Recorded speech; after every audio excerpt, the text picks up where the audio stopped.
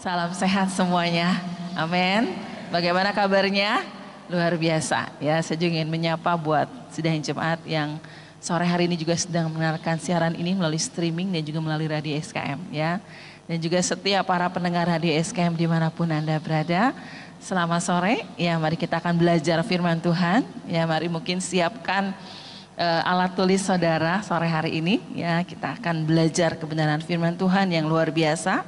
Sore ini kita akan belajar kebenaran firman Tuhan, kita akan berbicara tentang janji Tuhan, ya. Kita akan berbicara tentang janji Tuhan. Janji Tuhan dalam bahasa Yunani evangelia, ya.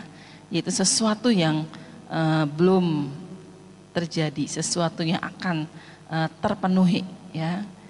Janji Tuhan di dalam kehidupan kita adalah janji yang luar biasa, ya. Kalau janji manusia bisa gagal ya.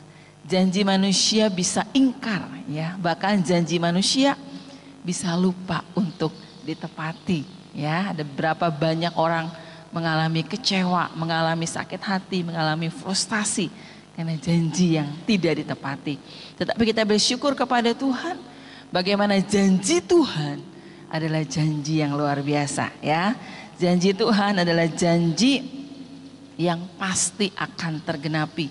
Di dalam kebenaran firman Tuhan ada kira-kira sekitar 3.570 eh, tiga janji Tuhan yang tertulis ya.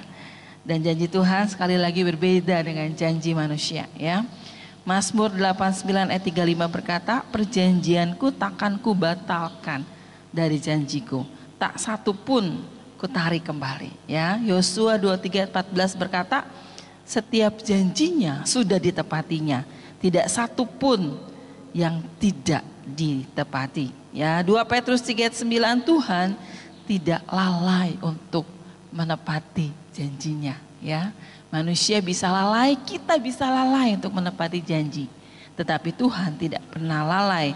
Sore ini kita akan belajar bagaimana agar kita bisa menerima penggenapan janji Tuhan dalam hidup kita.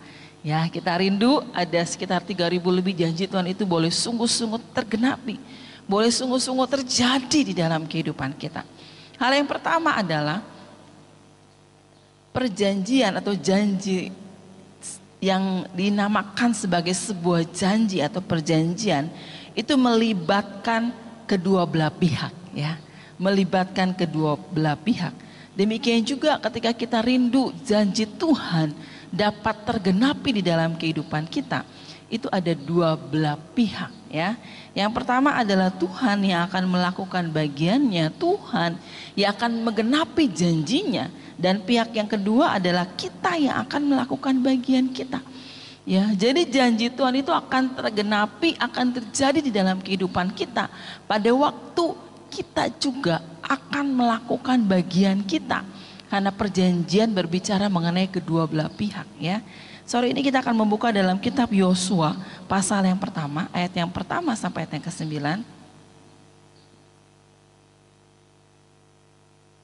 Kitab Yosua pasal yang pertama, ayat pertama sampai ayat yang ke-9.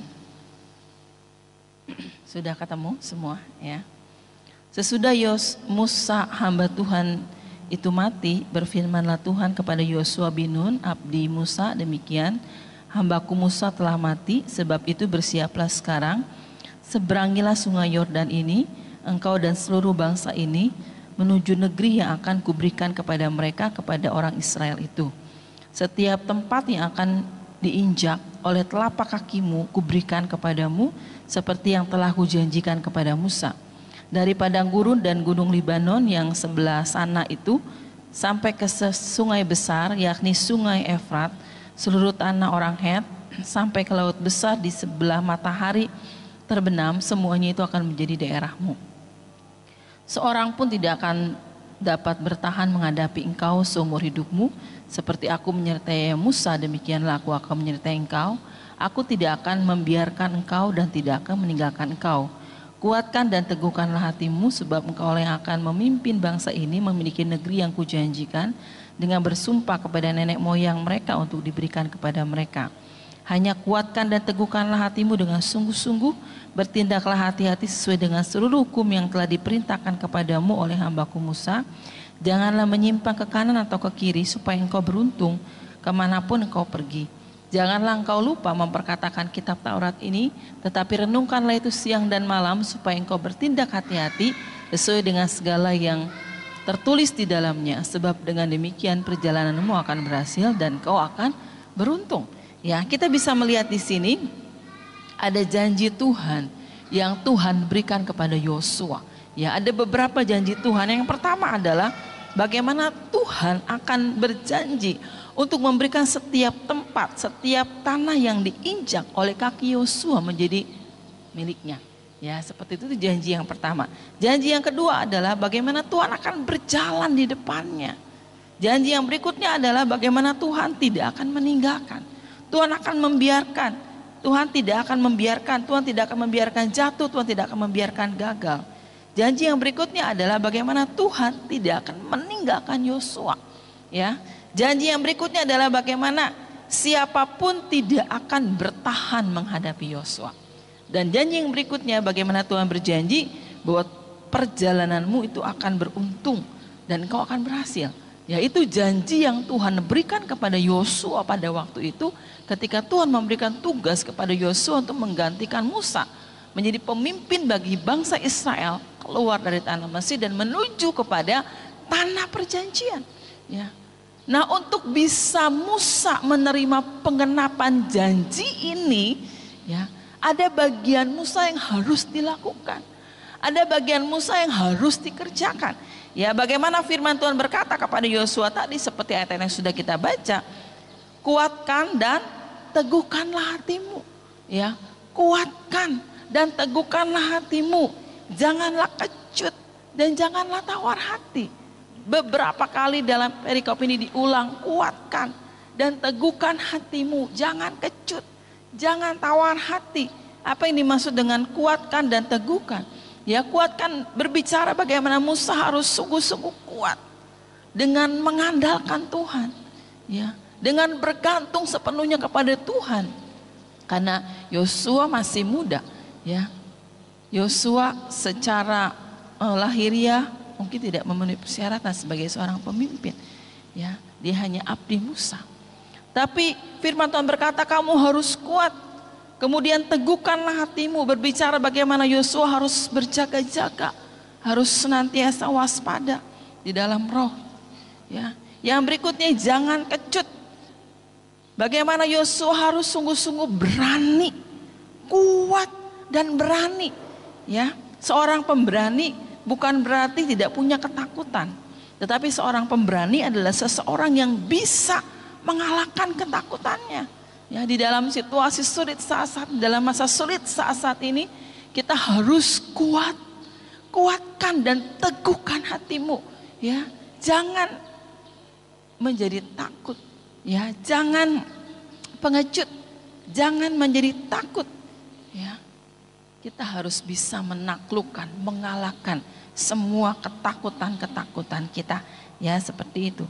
Kemudian janganlah tawar hati, Jangan kehilangan semangat. Ya, jangan menyerah, jangan putus asa dengan persoalan yang ada, dengan masalah yang ada. Yang berikutnya adalah bagaimana Tuhan mau Yosua juga melakukan bagiannya. Bagaimana Yosua harus memperkatakan firman Tuhan, harus merenungkan firman Tuhan siang dan malam, harus bertindak hati-hati sesuai dengan firman Tuhan. Jangan menyimpang ke kiri dan ke kanan. Ketika Yosua melakukan bagiannya seperti apa yang Tuhan mau. Bagaimana dia tetap kuat dan teguh. Bagaimana dia tidak takut. Bagaimana dia tidak tawar hati. Bagaimana dia berjalan dalam firman Tuhan. Tidak menyimpang ke kiri dan ke kanan. Ya, maka dia bisa menggenapi, menerima janji Tuhan. Dan terbukti ya, bagaimana Yosua bisa masuk dalam tanah perjanjian. Bagaimana Musa bisa Yosua bisa berkemenangan. Ya. E, dari beberapa orang bahkan Musa pun hanya melihat tidak bisa masuk tanah perjanjian. Ya, untuk kita bisa menerima penggenapan janji Tuhan, kita akan melakukan bagian kita.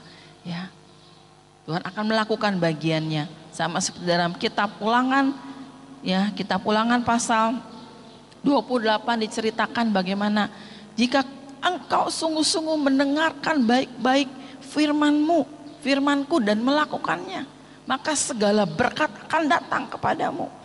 Tetapi jika engkau tidak mendengarkan firman Tuhan, tidak melakukan firman Tuhan, maka segala kutuk akan datang kepadamu. Ya.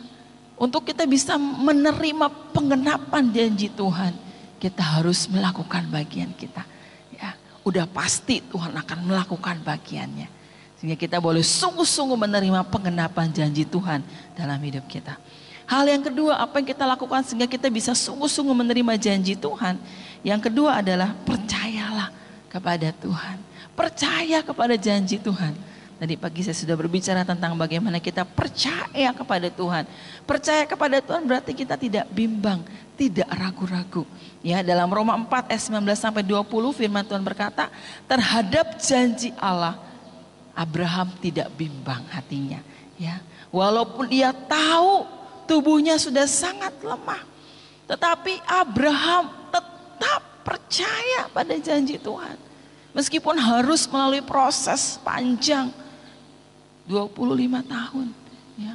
Meskipun dia melihat tubuhnya sudah semakin lemah, Secara manusia tidak mungkin dia bisa menerima janji Tuhan. Tapi Abraham tetap percaya, tidak bimbang, tidak ragu-ragu bahwa dia pasti akan menerima janji Tuhan dalam hidupnya. Ya. Terkadang yang membuat kita menjadi ragu dan bimbang adalah karena kita terlalu terfokus kepada situasi, terlalu terfokus kepada keadaan, terlalu terfokus kepada masalah kita, bukan terfokus kepada janji Tuhan. Ya, Abraham tidak terfokus kepada tubuhnya, tidak terfokus kepada keadaannya. Dia tetap terus terfokus kepada janji Tuhan. Hal yang ketiga, untuk kita bisa menerima pengenapan janji Tuhan adalah bagaimana kita tetap setia, kita tetap bertekun melakukan firman Tuhan, melakukan bagian kita sampai kita menerima penggenapan janji Tuhan itu. Ya, ada orang yang sebenarnya sedikit lagi dia akan menerima pengenapan janji Tuhan. Tapi dia nggak mau tekun, dia nggak mau setia. Ya, dia tinggalkan Tuhan karena dia terlalu lama mungkin menunggu janji Tuhan yang belum tergenapi. Ya, karena Tuhan punya waktu yang tepat untuk bisa menggenapi janjinya dalam hidup kita. Waktu kita itu berbeda dengan waktu Tuhan. Yang harus kita lakukan adalah bagaimana kita terus setia, terus bertekun melakukan bagian kita, melakukan kebenaran firman Tuhan. Ya, dalam Ibrani 10:36 berkata, sebab kamu memerlukan ketekunan supaya sesudah kamu melakukan kehendak Allah, kamu memperoleh apa yang dijanjikannya itu. Waktu kita sungguh-sungguh bertekun terus dalam kehendak Tuhan, ya, sampai pada waktunya sesuai dengan waktunya Tuhan. Tuhan pasti akan menggenapi janjinya dalam kehidupan kita. Amin. Amin. Luar biasa ya. Mungkin tidak sama proses waktunya, tetapi mari kita terus bertekun dan setia melakukan bagian kita. Terus hidup benar sesuai dengan apa yang Tuhan mau. Hal yang terakhir untuk kita bisa menerima pengendapan janji Tuhan adalah bagaimana kita punya respon yang benar terhadap janji Tuhan. Ya, kita akan berkata, Amin. Terjadilah dalam hidupku sekarang. Terjadilah dalam hidupku. Amin. Terjadilah dalam hidupku. Maka itu pasti akan terjadi. Ya, ada sebuah kisah yang luar biasa. Ya, mungkin saudara pernah dengar tentang seorang Yahudi. Ya, seorang Yahudi dia bisa mencapai umur 100 tahun lebih. Ya. Lalu kemudian orang-orang bertanya kepadanya, apa rahasianya? Sehingga kamu bisa hidup sampai umur 100 tahun lebih. Ya. Dan dia bercerita, ya, bagaimana ketika sekitar umur 14 atau 15 tahun, dia meninggalkan Polandia dan mengungsi ke Vinia. Ya, karena terjadi uh, penindasan orang-orang Yahudi di Eropa. Ya, di Vinia umurnya sudah 15 tahun ya dan dia masuk Yesika sekolah Taurat pada waktu itu ya. Di dalam kelas di sekolah Taurat ya salah seorang gurunya pada waktu itu bertanya ya kepada murid-muridnya ya. Kalian akan hidup sampai umur berapa? Ya. Kalian akan hidup sampai umur 100 tahun lebih. Ya, seperti itu. Dan ketika guru itu mengatakan seperti itu semua muridnya tertawa terbahak-bahak. Ya, seperti itu. Tetapi ada seorang seorang murid ini, seorang Yahudi ini yang berkata, "Yes, amin." Ya. Ya, amin. Di antara sekian banyak murid-murid hanya dia yang mengatakan, "Ya, yes, amin." Ya, seperti itu. Dan tertawa terbahak-bahak semua orang di kelasnya. Bukan hanya mentertawakan apa yang dikatakan gurunya, tapi mengatakan apa yang dikatakan oleh murid ini. Ya, seperti itu. Dan yang luar biasa, ya meskipun pada waktu itu mereka hidup dalam zaman penindasan Hitler ya banyak orang-orang Yahudi yang uh, mati ya karena begitu penderitaan yang sangat ya semua teman-temannya sekelasnya baik yang lebih tua atau lebih muda sudah meninggalkan dia terlebih dulu sudah meninggal terlebih dahulu ya tetapi dia adalah orang yang satu-satunya hidup sampai 100 tahun ya Kenapa? Karena dia berkata, yes, ya, amin, ya, terjadilah dalam hidupku. Dan itu sungguh-sungguh terjadi, ya. Mari uh, sidang jemaat, ya, pada waktu kita sungguh-sungguh mendengarkan firman Tuhan, janji Tuhan, kita punya respon yang benar, ya. Bagaimana kita akan berkata, yes, ya Tuhan, terjadilah dalam hidupku. Maka itu akan terjadi ya. Karena mulut kita penuh dengan kuasa. Dan ini menggambarkan satu keyakinan kita ya bahwa sungguh-sungguh janji Tuhan itu bisa terjadi dalam kehidupan kita. Amin. Saudara pasti diberkati. Saudara pasti disembuhkan Tuhan. Saudara berkemenangan. Yes amin. Dalam nama Yesus terjadi dalam hidupku.